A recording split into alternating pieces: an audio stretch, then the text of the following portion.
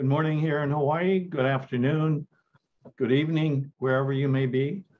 Hope you folks are tuning in on this. Wishing everyone the most healthy, fortunate, and fulfilling new year possible. Thanks for being with us. Hey, with us also today, in addition to our local Hawaii star, Jeff Portnoy, senior partner at Cades Schutte, First Amendment lawyer and commentator on Hawaii sports for many years. We have Rebekah Ratliff, one of the leading nationally and internationally recognized insurance claim executives, and now mediator arbitrator, bringing peace to an area uh, that grew out of conflict. And speaking of conflict, the head of the American Bar Association's dispute resolution section, David Larson, with us.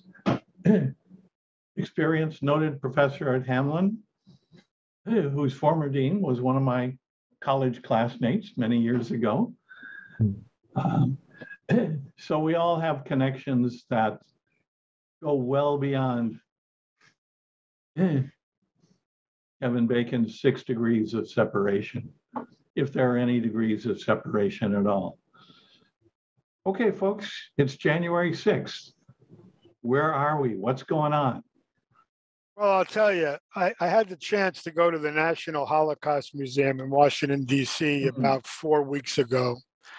And uh, what struck me, along with all of the horror, were the sections dealing with the rise of Hitler and the videos and the speeches. And I know some people are going to be offended by what I'm about to say, but the similarities between what happened in Germany from the mid 30s through the early 1940s and what happened in this country starting in 2016 and continuing till today is eerily similar.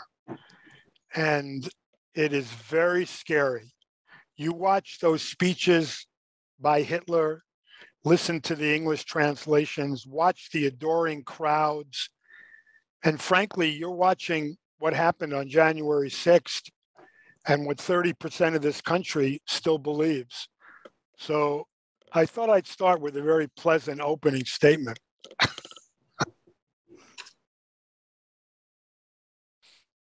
Well, that's why history is important. I mean, to, to draw those parallels is actually critical.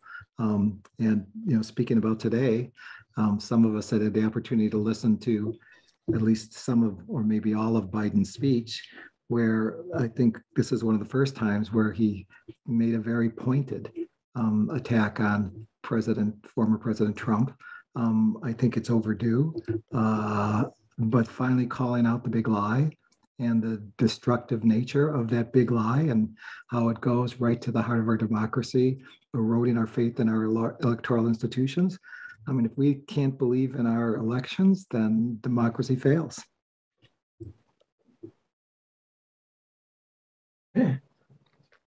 So Rebekah, how's it look from where you sit? Oh, optimist. Um, always the optimist. I believe in um, the heart of the American people and and what America stands for, even though it's been unfortunately proven over and over again um, that at least half of America uh, doesn't understand what um, we say America stands for.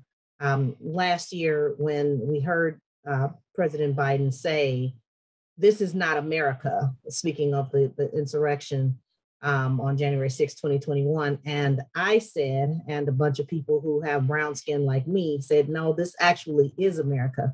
We still, we are still hopeful that uh, because of the resilience of, Amer- of the American people, that things can be different and will be different, but we have a long way to go. Yeah, I, I, I hear you, and I wish I could be optimistic, but I don't think facts support optimism right now. I mean, has the country changed for the better since a year ago? I don't think anyone, whatever color of their skin, who's not a Trumper, would say yes. I mean, it's actually gotten worse. how many states have passed anti-voting bills?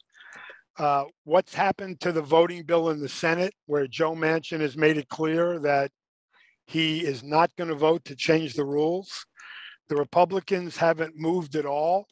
You can count on one hand the Republicans in Congress who have a brain and are willing to stand up for democracy. Um, Trump's support, they claim, is eroding. Uh, I don't know if anybody has seen that erosion, um, but uh, no, I you know I don't think the country is going to fall apart in, the next 12 months. Uh, you know, I'm not I'm not moving yet. I just got back from Belize. It's an opportunity, um, but uh, you know I, I just don't see it. I mean, Congress is deadlocked, and frankly, I fear November of this year, where at least right now, the Democrats are going to lose both houses, and you're not going to have to worry about Joe Manchin anymore. And uh, you know, in the next four weeks, they claim they're going to do something regarding voting rights, and it'll be fascinating to see if they have the the ability or the guts to do something. Uh, otherwise, I don't see a lot of optimism going forward, Rebekah, through November. But I hope I'm wrong. Yeah, that's I why. understand you know, that. Yeah. Yeah. That's, that's why I appreciate President Biden's comments today, because finally it's a more aggressive pushback um, against what's been happening. And I think that the Democrats have been too passive in terms of pushing back on what's been happening and the kinds of things that Jeffrey's talking about, particularly the erosion and suppression of voting, which is which is frightening. Um, you know, the kinds of restrictions that are being put on and the limitations of ballot drop boxes and things like that, and weird authorizations that your ballot won't be counted unless you follow arcane idiosyncratic steps. Those are all horrible things. And there's simply a, a, recognition by Republicans that if everybody votes, we're not going to win. So the only way we're going to win is make sure everybody doesn't vote. So, so that's that's that's discouraging. I'm waiting for the Republicans to introduce a voting rights bill that requires a jelly bean jar. oh, please don't take me back. yeah, well, that's exactly my point. I mean, I how far back are they going to go? I know. oh, yeah, we're laughing, but it is definitely, yeah, not funny. Um, yeah, uh, it's it's a scary. It's it's, it's just a, it's a very scary time. Yeah, to say to say something optimistic though, um, we did get a $1 trillion infrastructure bill that did have bipartisan support. Um, and that's something the country desperately needs. Uh, you know, and there's public safety issues with the bridges and the roads and a lot of things need to be addressed. So that's that's good. That's a positive thing. Oh my and as you said, we know that almost 500 pieces of legislation at the state and local level were introduced in 49 different states last year. 34 of them were passed by 19 states, 88 are still pending and out there. And so that movement to not only restrict and suppress voting access, but to shift control over the vote counting and the electoral college is still moving forward in ways that are very threatening to democracy. So where's the heart and the movement going to come from, Rebekah, that might offer grounds for the optimism? Oh my goodness. I wish I had the answer to that. Um, I mean, my thought is that there really are more people who understand the importance um, of democracy than than people who don't in America. Um, and there I am with my American optimism again.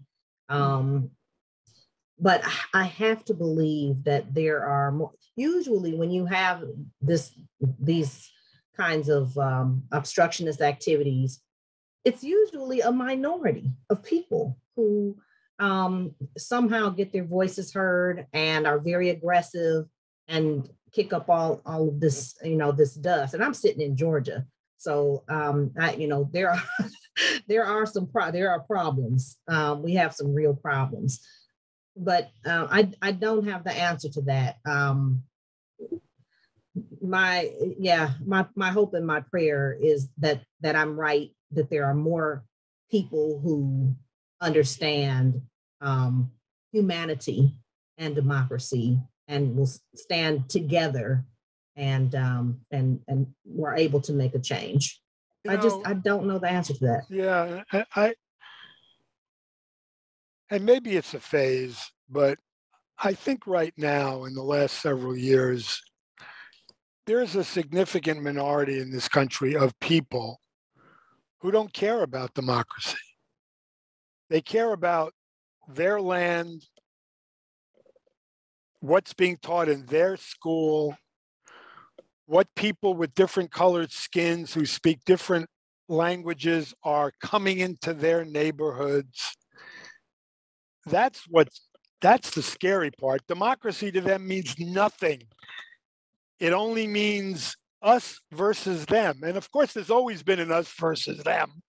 You know, we've always had the uh, the ranchers in Montana who, uh, you know, will there's a fight to keep the federal government off their land, and we've always had the Timothy McVeighs and but we're talking now about tens of millions of people who believe that. I don't think the country has ever, and you know, I'm not a historian that goes back and knows everything, but I'm not young anymore.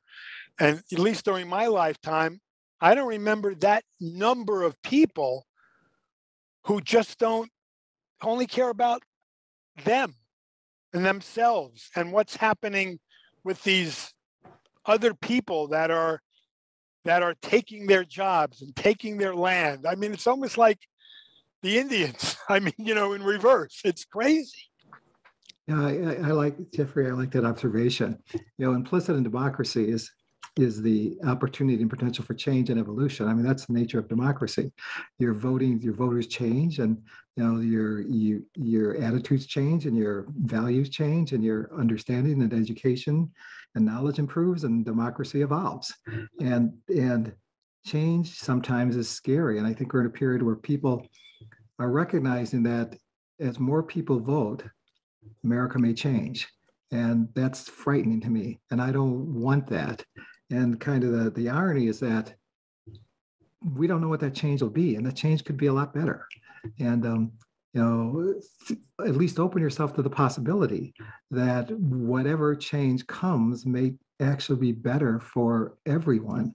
Um, and uh, that, I think that idea is lost the idea that that change isn't necessarily always bad, change can be good. Yeah, and I, you know, and, and I think when you have leaders who express that philosophy, you've got a much better chance of making it work. But unfortunately, we haven't had those leaders. And when we do have them, their voices are being shouted out by by louder voices. And uh, I agree with you that you know it finally Biden today made a speech that needed to be made months ago, but we'll see if it's shouted out. And you've already indicated, David, I haven't seen it, that it didn't stop Trump from putting out the same BS. And uh, you know, were any minds changed today? Did, did a single Republican come out who hadn't previously come out of the closet and said, "Yeah, you know, it's time we put this behind us and let's move on"? I doubt it. I think McConnell and and and his ilk uh, probably are going to come out with statements saying this is all a witch hunt, and uh, you know, let's uh, you know, the Democrats are trying to be, take this into socialism or whatever. But anyway, I hear you, and I, I think it's just, you know, we're on the coast. We're a little bit off the coast, but um, you know, I, I'm I, I worry between the two mountain ranges what what's happening to this country, the Alleghenies and the Rockies.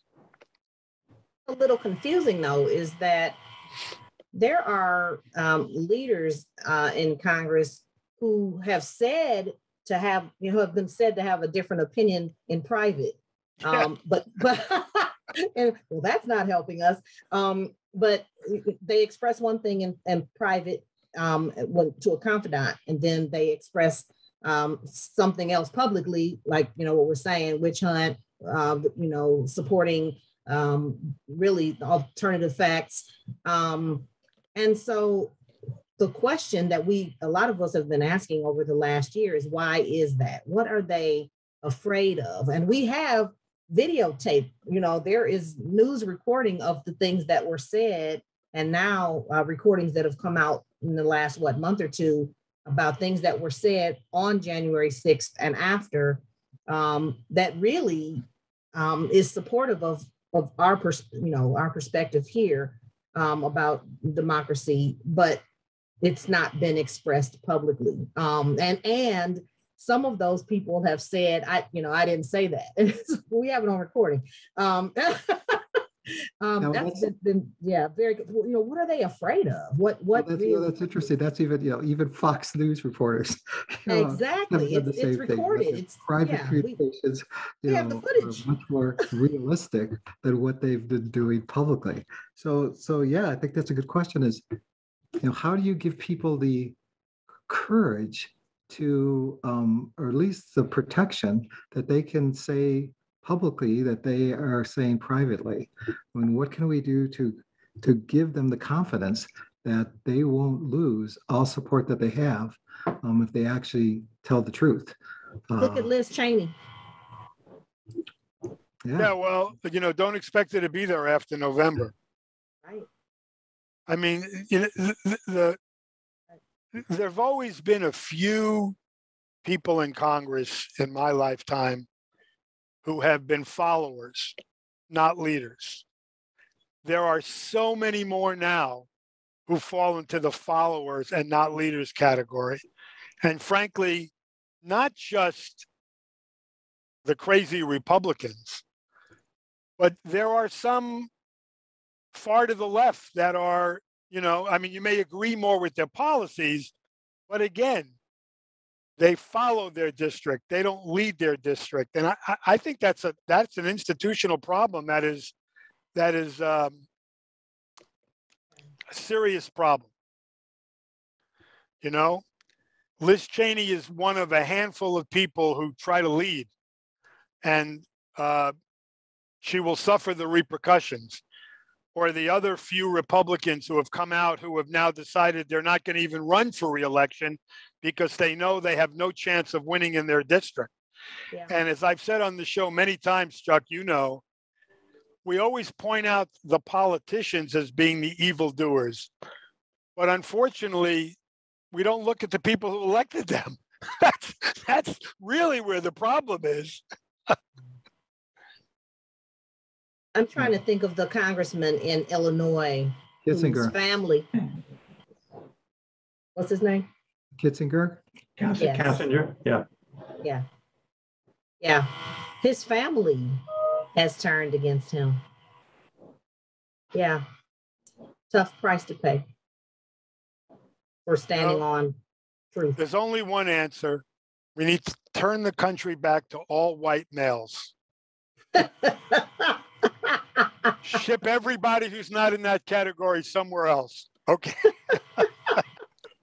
Well, you know, I, I think it goes back to the, goes back to the voting rights, that we got to make sure that more people are voting. Um, We got to make it possible for people to get to the ballot box and have their votes counted-. Well, we also have to make it, and I know this is radical and it's not going to happen, but we have to make it fair that nationally it's one person, one vote. You give Wyoming the same two Well, that's all- senators that you give California, i- i- i- the country is totally unbalanced. You have, I don't know what the percentages are, maybe you, you, you guys do, but you know, a small minority controls the country, population wise you take those those states, as I said, between the mountains and cut out a few in the northeast, you know, the north, the, like Minnesota and Michigan and, you know, and Texas, but you got the South Dakotas, North Dakotas, Idaho's, Montanas, Wyoming's, Kansas, etc. They control national politics. Electoral college, two senators per state. It may have worked in, you know, 1776 when there were 13 colonies. I'm not sure it works now. Not that I think there's ever going to be a change. Hmm. when you look at the map of the 2020 vote, and you've got a blue West Coast, you've got a blue Northeast, a blue Georgia, thank you, Rebekah, Yeah. and a blue Wisconsin, Illinois, and Michigan. And that's it. Pennsylvania, oh, yeah, well, And Yeah. yeah, Pennsylvania, They get a blue Part of the Minnesota. Northeast You for get a red, once, you get a blue Minnesota, you get a red Wisconsin. Um, You know, Wisconsin, with its history of progressive politics in the 20th century, has turned radically to the right. Um, And it's not the Wisconsin that I remember from my childhood. nor the Well, one I you- grew up in. you just have to cut out Madison, then you're okay. Yeah. Madison's an island. well, I mean, it's it's a time to reflect today, and of course, a lot of Americans are, and I'm sure you know there are some that are reflecting on God. If we had only fought a little harder, we could have taken over the government. I'm sure there are some reflecting on that as well. Maybe not saying it too out loud because they've only indicted 720 people. They've got a bunch more to get uh, to get to in the next 12 months. So speaking of reflection, throwing in something else positive. Um, we do have a COVID pill now coming. You know, we have made advances in treating COVID, and even though um, right now, as we sit here, infection rates are surging, it still is promising that we are making advances in terms of addressing that uh, our pandemic, and uh, so that's that's an encouraging thing. Yeah, that Trump vaccine is something, isn't it? yeah, yeah, I'm glad, I'm, I'm glad he pushed it so hard so early. How about, so there's the pill, um, but now we also, in addition to the, I think there's a new variant out of France, but now we have something that, um, people are calling flurona, which is a combination, yeah, twin demics, the flu and coronavirus at the same time. Just a mess. Well, it's a race, you know, it's, it's us against disease and it, it requires vaccination rates. And that's another whole discussion about how public health issues can be politicized. And, you know, even though we all got polio vaccines and everybody bought into that idea, um, suddenly there's this now idea that it's disloyal to to pursue public health recommendations that somehow that's that's being disloyal which is you know objectively a crazy idea But I think it's a reflection on these people who believe that government is bad. Government is forcing bad things on us. And now the vaccine, the last year, has been the most prominent of the bad things. And it's my body and my life. I don't know where they were when they were required to wear seatbelts or get a driver's license or not be able to drink till they were 18. But apparently, having to take a vaccine is just not going to happen. And I know some very smart people, friends of mine, although we don't see each other anymore because of potential illness. But I've got smart friends who believe it exactly as I stated. The government is not going to put anything in my body, and the vaccine is bad, and it, you know, it kills fetuses. Or, I mean, it's crazy. These aren't idiots. That's the scary thing. That's the scary thing. Yeah. These are college educated people. Yeah, know, I know some people with doctorate degrees. Uh, Yeah, I know feel that way. doctors. There are doctors. I know doctors. doctors. Yeah, just a few, but yeah. Well, I was I was happy to see that Mayo fired 700 people that refused to get vaccinated. Now they have 73,000 um, employees, so that's encouraging because if they only fired 700, that means 99% of their workforce did get vaccinated, which I think is is is a great example of what can be accomplished. Yeah, and and I mean, there is the point that we all there's still so much we don't know about uh, COVID and the protection of others. Uh, and I know there's a just huge arguments about the vaccine, but people who refuse to get vaccinated then also are people who a lot of a lot of that population won't wear the mask and won't um, socially distance, uh, so you know, socially distance themselves. And that's the thing. So how are you protecting the public when you're interacting? How are you, you know? And then there are some, you know, you go to a restaurant and it says you can, uh, you don't have to wear a mask if you're vaccinated. Well, there are unvaccinated people who are going to say that they're not vaccinated, and they will come in without a mask anyway. Um, and I am vaccinated and boosted, but I still wear a mask uh, around other people and indoors because you can still catch it and you can carry it and pass it on to other people who may actually get sick. As far, Um, I, I was only like five years old, but I don't remember death threats to Jonas Salk and his family. I, I just don't remember that uh, happening. Now, maybe it happened and I was only five. It's what's the country's gone completely berserk. Look what happens to Fauci and his family. I mean, this is crazy. We've got tens of thousands of anarchists running around with guns and threats and you know how much has the internet done but does anybody remember or has anybody who's read anything that jonas salk had to stay inside because they were threatening to kill him because he came up with the polio vaccine it's it's bizarre it's just totally bizarre It really is. That's why, you know, that's why I, I applaud what Biden did today, you know, in terms of trying to push back. And I don't think we've been nearly aggressive enough in terms of this kind of polite deference to people that are anti-vaxxers. Um, you see in the sports world all the time. Um, you know, I'm up here in Minnesota, and uh, the Vikings had a chance to be in the playoffs, and uh, we had two vac- unvaccinated players who who were uh, AWOL and very important games. Dalvin Cook didn't play against the Rams; they lost by touchdown. he's on my fantasy team don't talk to me about it Kirk Cousins, you know, thirty-five million dollars a year quarterback, anti-vaxxer, doesn't show up for the Packers game, they get killed by the Packers um, and get eliminated from the playoffs. So, and instead of just going right in and saying the reason why the Vikings lost is because Kirk Cousins, the quarterback leader of the team, wasn't vaccinated and didn't show up for the important game. People don't say that. You know, they don't they don't point the fingers in ways that need to be pointed. So that's why I, I appreciate what Biden started to do today, um, pushing back a little more aggressively. Um, Minneapolis and St. Paul both reinstituted mask mandates today. I am encouraged because I'm seeing on the news programs here discussions about masks. And they're finally talking about cloth masks aren't that great. And um, you know, surgical masks are better, but you really want to get KN95 or N95 masks. And so I think we are educating people, and I'm seeing, at least in my environment, more of the better masks and being worn more often.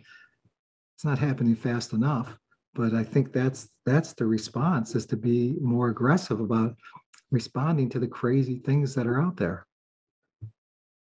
Yeah, there are, I mean, of course, we know the N95 masks are better than even the KN95 um, slightly. And I didn't understand that that 95 number means that it filters out 95% of the particles. Um, and uh, one of, um, I know Chuck is familiar with Dr. Lane Rowling, um, who was on the Mask Off series um, with me and the uh, American Bar Association. Uh, we did in 20, now I want to say it was in 2020. It wasn't even 2021 when we did mask the mask off series, but um, he has been very forthcoming about information. He's a, a military trauma surgeon, uh, a virologist, and infectious disease doctor. He's been seen on MSNBC and also um, he was on Black News Channel for a stint every Sunday night at seven. He can be found on YouTube, but um, he talks about a mask that is a it's like a biochemical um, it's a it's a mask that's even better than the mask that generally we buy on amazon um, or that we can find at the store. Um, but this this is a deadly pandemic which is now endemic. And when he said he actually started using the term endemic before dr fauci did and i had to look it up because i didn't know what it meant um, and so it's you know covid is not going away and we're still hearing people say when we get past this pandemic, the COVID pandemic, it's it's not it's endemic. It's in our society like the flu. So there will always be a variant somewhere, whether it's more con, you know con- contagious or not. Um, you know, because we didn't contain it when it got here, uh, we're stuck with it for, and it's going to affect how we do things. He says for the next fifty years, um, which is really disturbing. Um, but I just keep filling up on masks and Lysol ever, ever so often. I just, just keep, you know, buy a can of Lysol here and there. I mean, we're going to have to protect ourselves. And what we're trying to do, of course, is get to the point where it's not a daily threat, where we don't feel like, you know, every single day I'm at risk. No, and maybe we're out of time for today, but maybe that's a good place to wind up. Hey, we started with things that threaten the health of all of us in a large systemic sense. And we're winding up with things on which hopefully we can move toward agreement and collective common understanding to help each other for health reasons.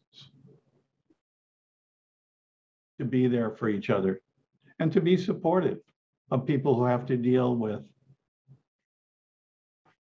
things that none of us would wish on each other. Thank you all. Come back and join us in a couple of weeks. We'll be back. Think Tech Hawaii. Take care and come see us again in two weeks. Thank you.